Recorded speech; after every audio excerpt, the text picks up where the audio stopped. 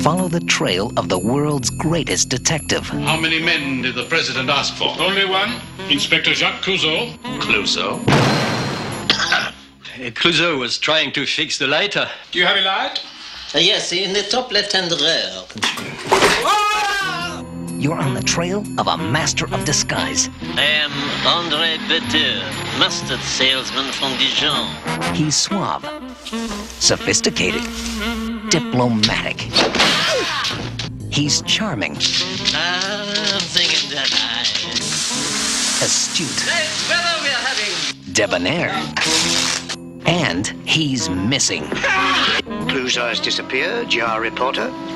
Elementary. Could you tell me something about your son? No.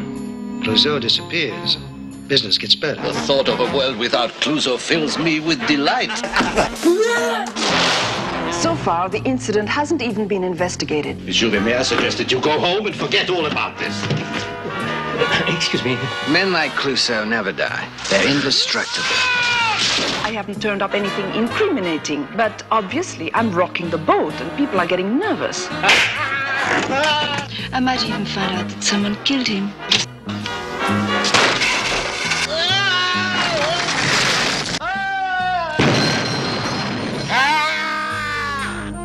Follow the trail that always leads to laughter. The trail of the Pink Panther. Peter Sellers in Blake Edwards' newest and funniest comedy, Trail of the Pink Panther.